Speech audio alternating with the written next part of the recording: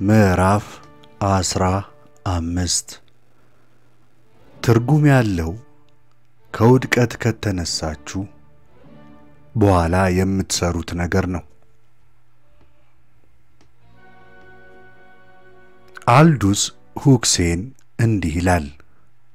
ልምድ ወይም ተሞክሮ ማለት እናንተን የገጠማችሁ ነገር ሳይሆን ተሞክሮ ማለት የገጠማችሁን ነገር እንዴት እንደምትወጡት ማሳየት ነው ይላል።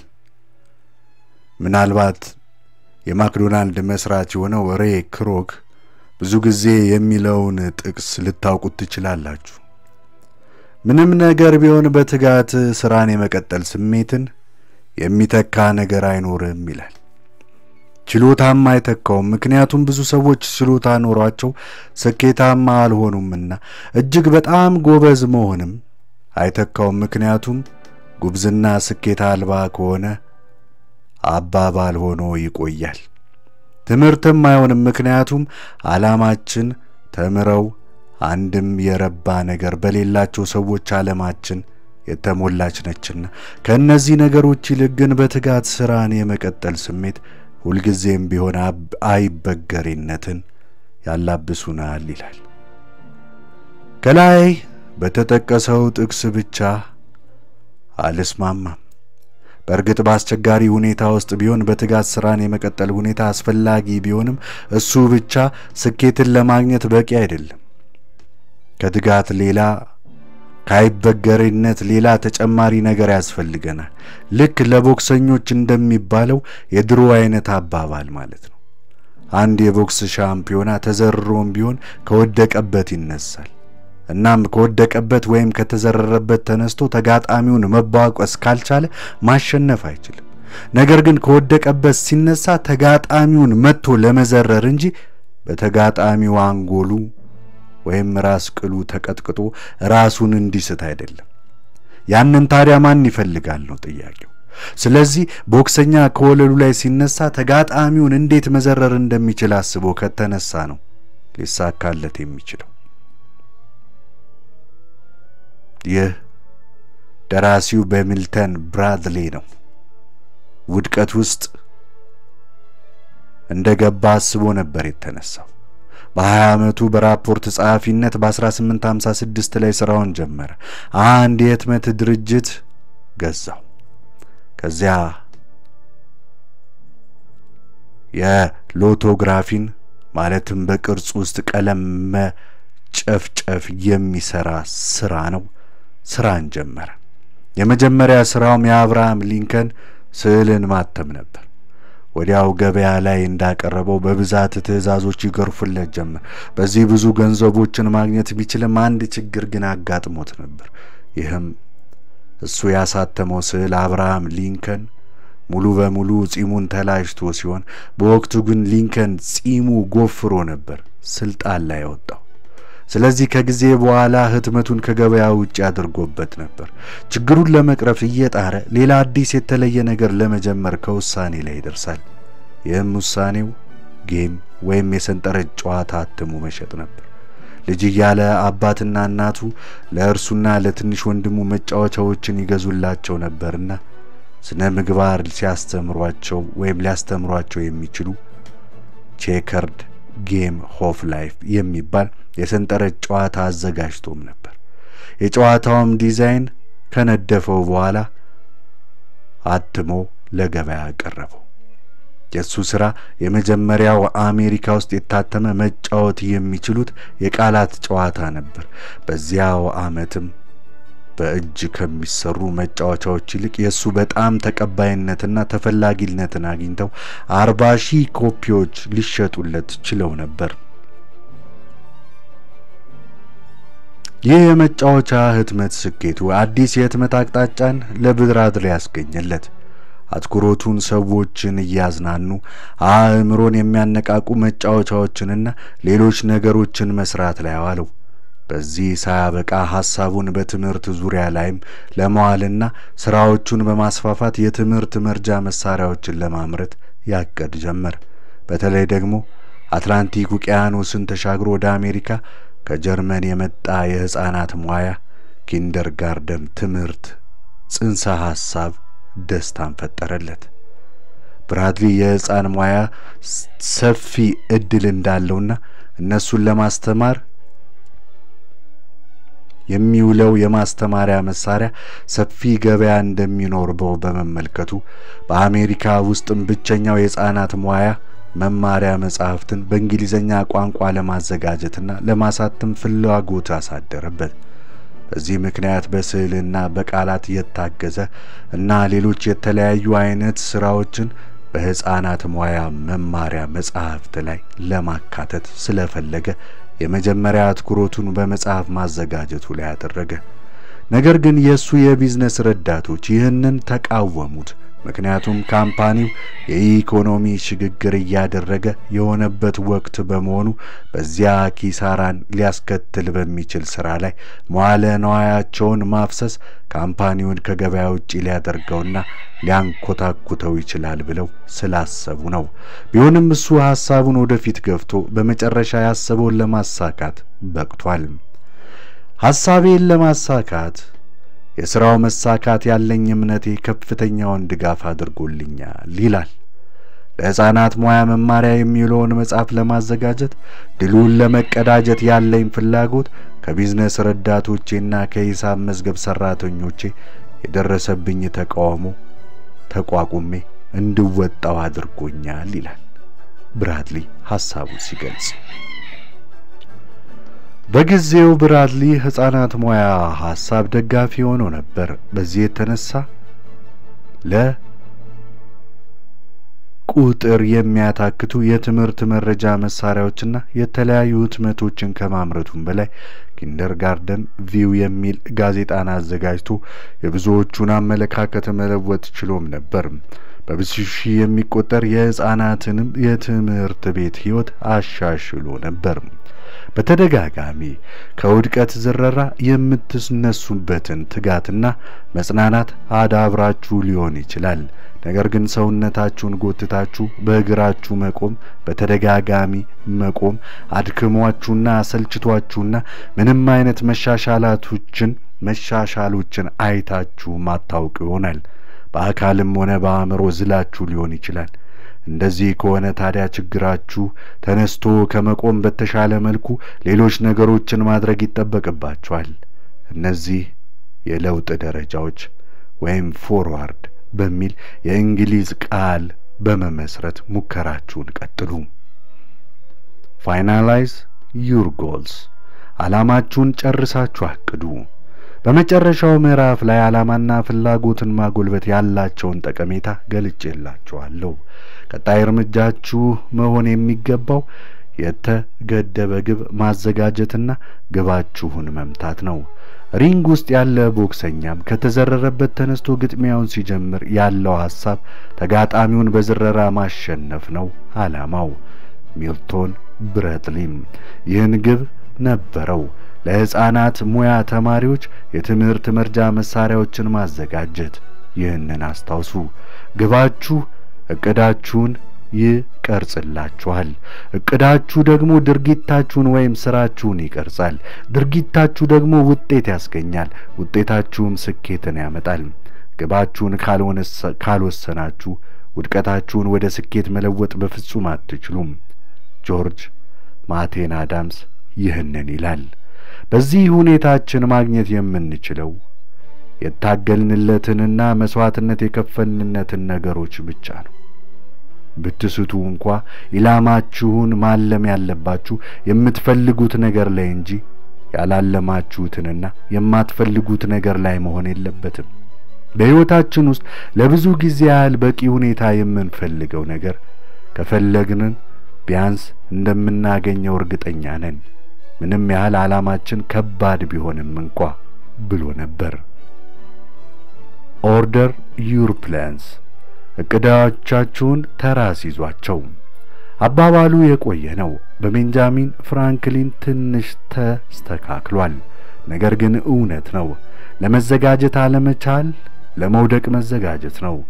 በእርግጥ እቅዳችሁ እንደ ሰማችሁት ላይሄድ ይችል ይሆናል። ነገር ግን ማቀድን ችላ ያላችሁት እንደሆነ የስኬታማነት እድላችሁ በጣም በጣም የጠበበ ይሆናል።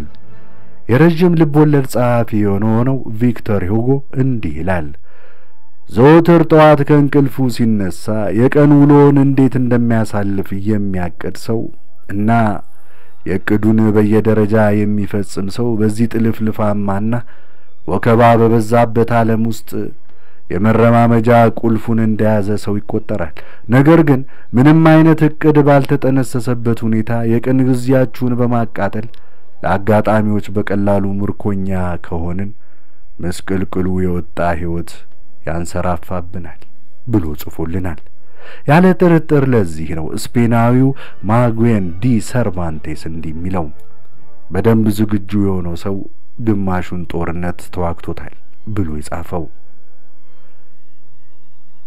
እቅድ ብለን ስኬትን አያመጣልንም። ብቻውን እቅድ ብቻውን ስኬትን አያመጣም። ሌላው ቀጣዩና ግማሽ ትግል እቅድን ተግባራዊ ማድረግ ነው። ስናርድ ሂልተን ሲናገር ስኬት ከድርጊት ጋር የተያያዘ ይመስላል።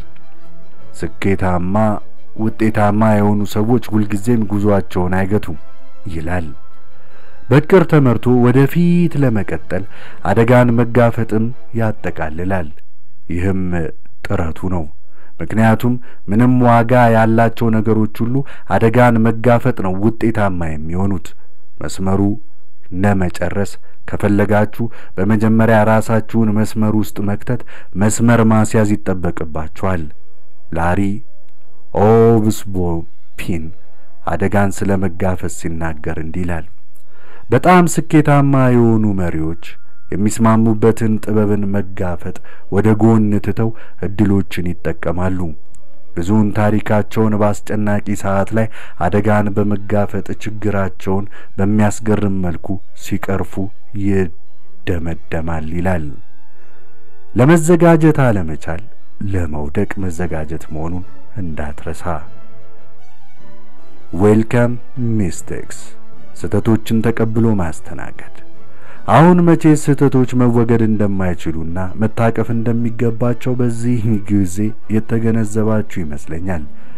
ስህተቶችን በለውጥ ድንበር ውስጥ እየተጓዛችሁ መሆኑን የሚያሳዩ አዲስ ምድር ላይ እየተጓዛችሁ መሆኑን የሚያመለካክቱ መሻሻል እያሳያችሁ መሆኑን የሚያሳዩ ምልክቶች ናቸው። ድሮ ወይም የቆየው የእንግሊዘኛ አባባል እንደሚለው አንዳችም ስህተት ያልፈጸመ ሰው እስካሁን ድረስ ምንም ነገር አልሰራም ማለት ነው ይላል። በጣም ስኬታማ የሆኑ መሪዎች የሚስማሙበትን ጥበብን መጋፈጥ ወደ ጎን ትተው እድሎችን ይጠቀማሉ። ብዙውን ታሪካቸውን በአስጨናቂ ሰዓት ላይ አደጋን በመጋፈጥ ችግራቸውን ቢያስገርም በሚያስገርም መልኩ ሲቀርፉ ይደመማሉ። የመሻሻል ጉዞአችሁ በጸባያችሁ ላይ የተመሰረተ ይሁን። Advance based on your character። ስህተቶችን ሰርታችሁ በስህተታችሁ ሳትገደቡ ወደፊት ለመጓዝ የምታደርጉት እንቅስቃሴ የጸባያችሁ ወይም የባህሪያችሁ መፈተኛ መፈተኛ ነው።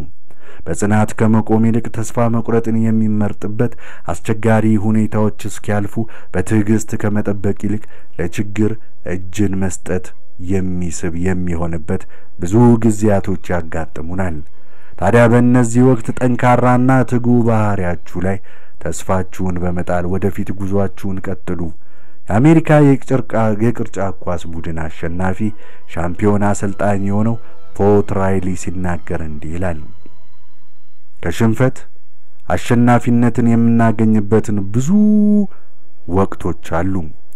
እውነተኛ ተዋጊ በኃይለኛ ጥረትና በሙሉ ተስፋ እንዲህ አይነት ወቅቶችን መቆጣጠር እንዳለበት ስለሚረዳና ስለሚያደርገው ከልቡ ተዋጊ ነው የሚለውን ስያሜ እንዲያገኝ ይረዳዋል። በውድቀት ተዘርራችሁ እያለ ከወደቃችሁበት ለመነሳት ፍላጎቱ ሲኖራችሁ ከተነሳችሁ በኋላ ደግሞ እንዴት እንደምትሰሩ እቅዳችሁ በጀግንነት ወደ ድርጊት ስትገቡ ይህንን እወቁ። ከላይ የተጠቀሱትን የሽንፈት ተሞክሮች ሊደርስባችሁ ይችላል። እናም እንደዚህ በሚደርሱባችሁ ወቅት ራሳችሁን አዘጋጅታችሁ ጠብቁ። በዚህም የማሸነፊያ መንገዳችሁን በውስጡ ስለምታገኙ እድላችሁ ከፍ ይላል። በተከታታይ ለውጣችሁን ገምግሙ። Reevaluate your progress continually።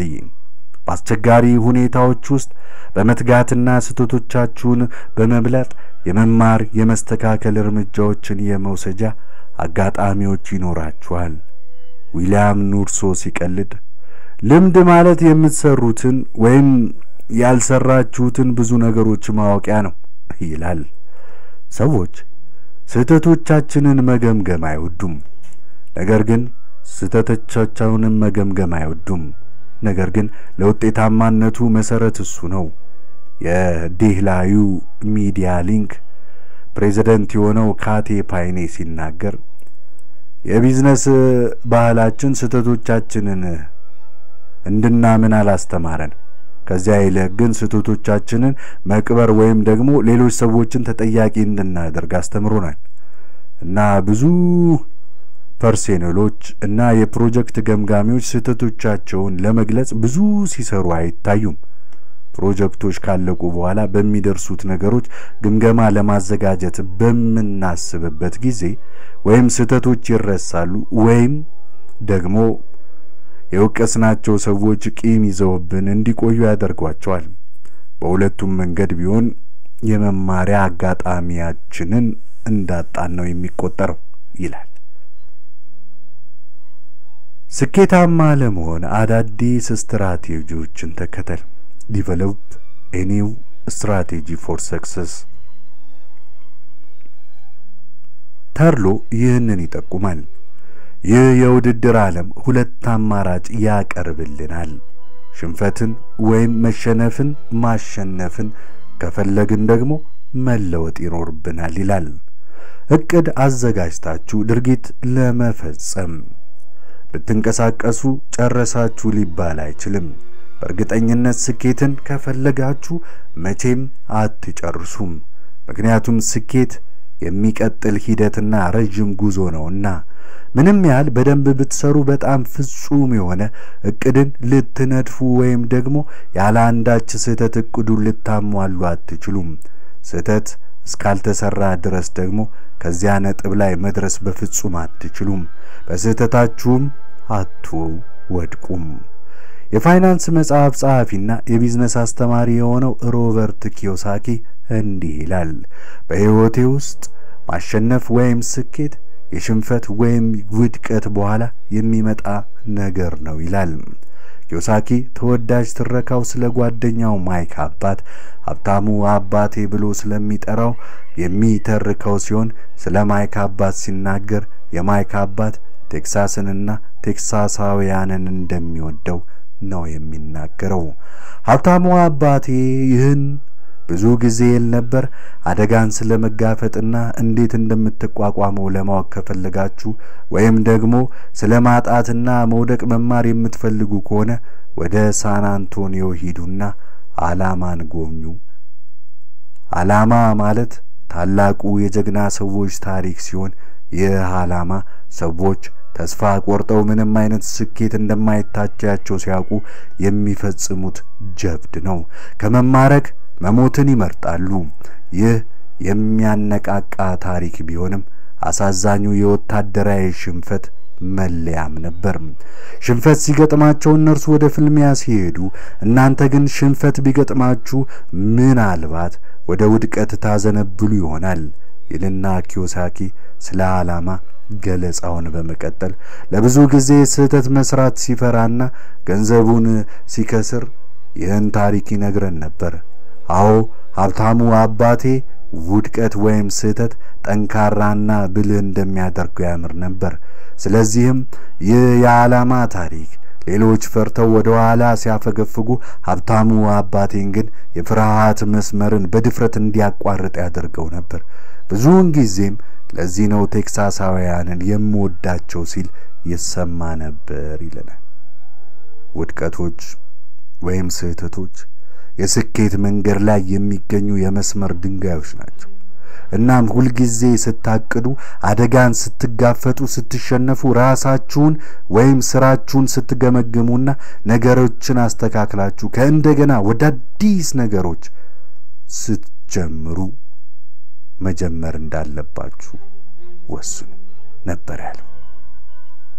መጀመሪያ በእርግጥ ቀላል አይደለም። ነገር ግን አንዴ ከጀርመን ከጀመርን ይህ ጅማሬ የሚገርሙ ውጤቶችን ያመጣልናል። ይህን በ1999 መጨረሻ ላይ ወደ እስያ ሲሄድ ነው የተገነዘብኩት። ለአስር ቀኖች ያህል የኔ የመሪዎች ቡድን ወደ ህንድ፣ ሆንግ ኮንግ፣ አውስትራሊያ፣ ሲንጋፖርና ፊሊፒንስ ተጉዞ ነበር። በጣም ካስደሳች ጉዟችን ወደ ሲንጋፖር ቆይታዬን በጣም ወድጀው ነበር። በዓለማችን ውስጥ በጣም ዘመናዊ ሀገሮች ከሚባሉት ተርታ ትመደባለች። የሲንጋፖር ከተማን ስንጎበኝ አስጎብኛችን ሱዛና ፎ ብዙ ነገሮችን ነግራን ነበር። የሀገሪቷ ጂዲፒ በ1998 ቢሊዮን ዶላር ሲሆን የአንድ ሰው የነፍስ ወከፍ ገቢ ደግሞ ሁለት ነው 22800 ዶላር በመሆን በዓለም ዘጠነኛ ደረጃን ያሰጣት ነበር። ይህንን ሁሉ ታሪክ የምትፈጽም ሀገር ግን ስፋቷ 238 ስኩዌር ማይል ብቻ ነው። የሲንጋፖር ታሪክ በሱማትራ ስሪ ቪጃይ አገዛዝ ይጀምራል። ከዚያም በ1926 የእንግሊዝ የብሪታንያ ቅኝ ግዛት ትሆናለች። ለአንድ ክፍለ ዘመን ያህል በእንግሊዝ ስር ከቆየች በኋላ በሁለተኛው የዓለም ጦርነት ጊዜ በጃፓኖች ቁጥጥር ስር ትውላለች።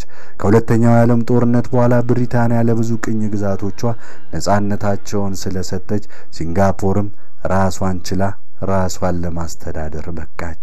ይህም ቢሆን ታዲያ ብሪታንያውያን ሲንጋፖር ራሷን ችላ እንደማትቆም እንደማትቆም እርግጠኛ ነበሩ። ምክንያቱም ሲንጋፖር ምንም አይነት የተፈጥሮ ሀብት ያልነበራትና በመንግስት የመተዳደር ልምድ እንኳ አልባ ስለሆነች ነው። ምንም እንኳ ህዝቡ ነጻነቱን ቢፈልገውም ጠባብ አእምሯቸው በቅኝ ግዛት እንደተያዘ ነበር የሚያስበው። ከዚያ በተረፈ ግን የጎሳ ጠባብ አስተሳሰብ በእጅጉ የተስፋፋባትም ሀገር ነበረች። በ1959 ሲንጋፖር ነጻነቷን ብታገኝም እንደ ሀገር ብዙ ብዙ ነገሮች ስለሚጎሏት ህዝቡ ከማሌዥያ ጋር መቀላቀልና አብሮ መኖርን እንደ አንድ አማራጭ ስለተመለከተው በ1963 ከማሌዥያ ጋር ተቀላቀሉ። ማሌዥያውያን ግን ከሲንጋፖራውያን ጋር ሊስማሙ ስላልቻሉ ማሌዥያ ከሲንጋፖር ጋር ያላትን ግንኙነት ከሁለት ዓመት በኋላ አቋረጠች። የሀገሪቱ መሪ ጠቅላይ ሚኒስትር ሊኩ ሄኒዮ ሀገሪቷ የተሟጠጠ ራዕይና ተስፋ እንዳላት አስተዋለ። አንድ ነገርም ብቻ አለ። ይህም ራሳቸውን ከዚህ አስቸጋሪ ሁኔታ ውስጥ ማውጣት እንዳለባቸው ሆነ። ከሀገሪቱ ችግሮች ጋር እቅዱን እስኪያወጣ ድረስ ሰውየው መታገሉን በፍጹም አላቆመም። በአርባ ሁለት ዓመቱ በጣም ወጣት መሪ ሲሆን ከህዝብ የሚለየው ደግሞ የተማረ በመሆኑ ብቻ ነበር። መለወጥ እንደሚቻል ቢያውቅም ለዚህ ግን የአንድ ትውልድ ያህል ዕድሜ እንደሚያስፈልግ ተገንዝቧል። ግቡ ወይም ዓላማው በሦስተኛው የዓለም ሀገር ውስጥ የአንደኛው ዓለም የኑሮ ሁኔታን መፍጠር ነበር። እንደዚህም ነው ሊያደርግ የወሰነው። አንደኛ ኢንዱስትሪዎች ወደ ሀገሪቷ እንዲገቡ ማድረግ። የመጀመሪያው ዓላማው ኢንዱስትሪዎችን ወደ ሀገር ውስጥ እንዲገቡ መጋበዝ ሲሆን በዚህም ለህዝቡ ስራ መፍጠር ይቻላል ብሎ አሰበ። ሁለተኛ የጋራ ዘመናዊ መኖሪያ ቤቶችን መገንባት፣ የህዝቡን የኑሮ ሁኔታ በመለወጥ ለለውጥ ህዝቡን ማነሳሳት ሲሆን ለዚህም የተሻለ ዘመናዊ ቤት በረጅም ጊዜ ክፍያ ህዝቡን የቤት ባለቤት ማድረግን ያጠቃልላል። ሶስተኛ ህዝቡን ማስተማር ለአንድ ሀገር መሻሻል ወሳኙ ሚና የሚጫወተው ትምህርት እንደሆነ እንደመሆኑም መጠን ህዝቡ ራሱን እንዲያሻሽል ትምህርት አስፈላጊ ነገር እንደሆነ ትምህርትን ለሁሉም ህብረተሰብ ክፍል ማድረስን አጠቃለለ። አራተኛ የባንክ system ን መዘርጋት። በዚህ ግቡ ሲንጋፖር የእስያ የቢዝነስ center ማድረግን አሰበ። አምስት international ጉዞዎችን ማበረታታት። በዚህ ግቡ ሲንጋፖር የእስያ የቢዝነስ የቱሪስት እምብርት ማድረግ ሲሆን ለዚህም የሚጠቅም ግዙፍ ዓለም አቀፍ የአየር ማረፊያ መገንባትን ይጨምራል። የዮዮ እቅድና ትልቅ እቅድ ትልቅና ከፍተኛ የሆነ ጽናትን የሚጠይቅ ቢሆንም ለዚህ ራዩ መሳካት ደግሞ እርዳታ ያስፈልገው ነበር።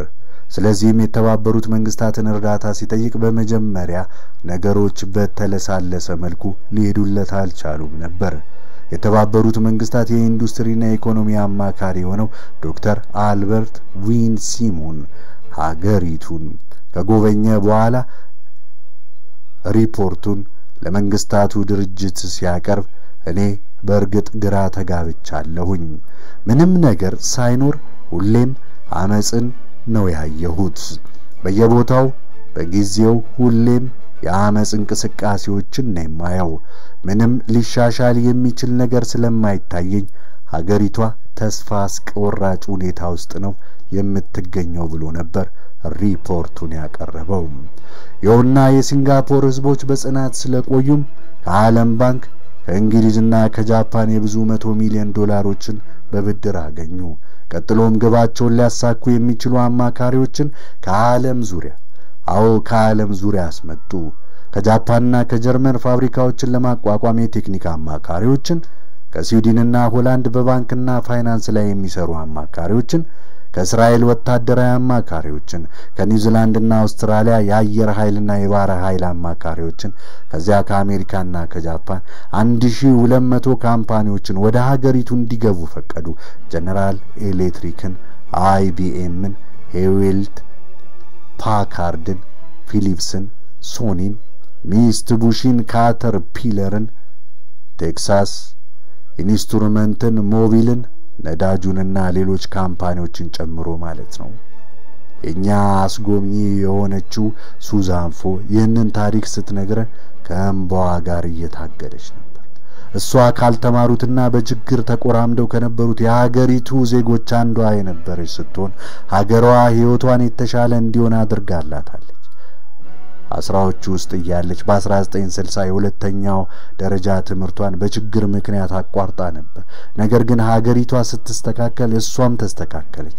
በማታ ክፍለ ጊዜ ትምህርቷን ጨርሳ ራሷን ለማሻሻል በቅታለች።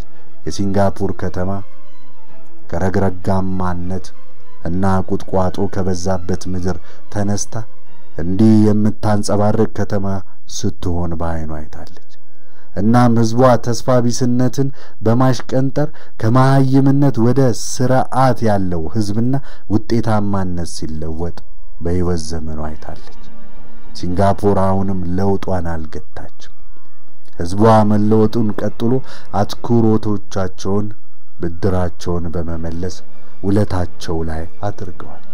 አሁን እኛ ቦስኒያን፣ ዚምባብዌን፣ ቱርኩን፣ ቪየትናምን፣ ምስራቅ ቲሞርንና ኩዌትን እየረዳን እንገኛለን ብላ ሱዛን አሁን ውለታችንን መመለስ የኛ ተራ ነው እና ምን ያህል እርዳታ ሌሎች ሀገሮች እንደሚፈልጉ ከኛ ተሞክሮ ስለምንረዳ የተባበሩት መንግስታት ሂዱ ባለም ቦታ ሁሉ ለመሄድ ፈቃደኞች ሆነናል ነበር ያለችን።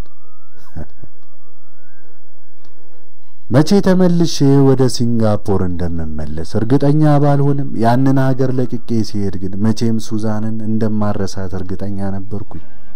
ካየኋቸው ሀገሮችና ከተሞች እንደ ሲንጋፖር ያለ ወደፊት መውደቅ ምሳሌ የሚሆን ሀገርን አላገኘው።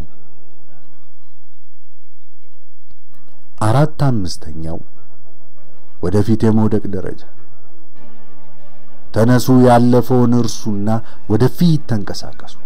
ያለ ጥርጥር ብዙ ታላላቅ ስራዎች ከፊታችሁ ይጠብቋችኋል። ምናልባትም እነዚህን ስራዎች በድል መፈጸም የእናንተ ዓላማ ቢሆንም መሰናክሎችን መቋቋም ትፈሩ ይሆናል።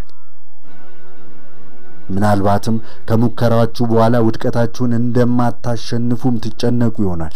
ስራውን ለመስራት እቅድ አውጡ። ዘላችሁ በስሜት ወደ ስራ አትግቡ። በሁለት እግራችሁ ቁሙና በዚህ ምዕራፍ ላይ በፎርዋርድ ቃል ላይ የተመሰረተውን ስትራቴጂ ተጠቀሙ።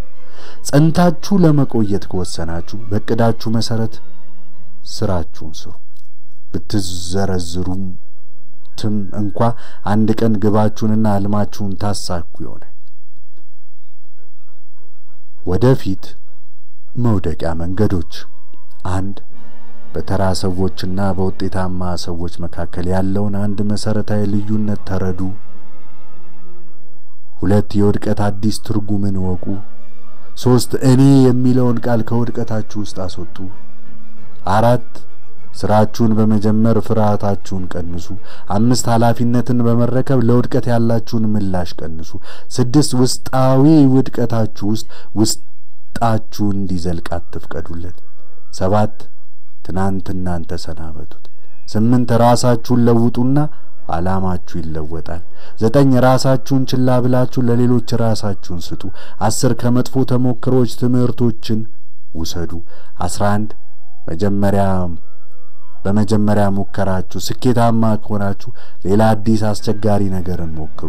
አስራ ሁለት ከመጥፎ ተሞክሮዎች ትምህርት ውሰዱና ተሞክሮዎችን፣ አጋጣሚዎችን ወደ መልካም ተሞክሮች ቀይሩ።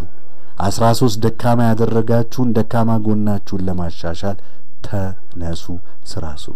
አስራ አራት በውድቀትና በስኬት መካከል ያን ያህል ብዙ ልዩነት እንደሌለ በግልጽ ተረዱ። አስራ አምስት ተነሱ፣ ያለፈውን እርሱና ወደፊት አዎ ወደፊት ተንቀሳቀሱ። ምዕራፍ አስራ አምስትን እንዲህ አንብበን ጨረስን። ውድቀቴን ወደድኩት የሚለውን ዶክተር ጆን ማክስዌል የጻፈውን ድንቅ የሆነ መጽሐፍ እያነበብን ነው። ቻናላችንን subscribe፣ like፣ comment፣ share ያድርጉ። እናመሰግናለን። እንቀጥላለን።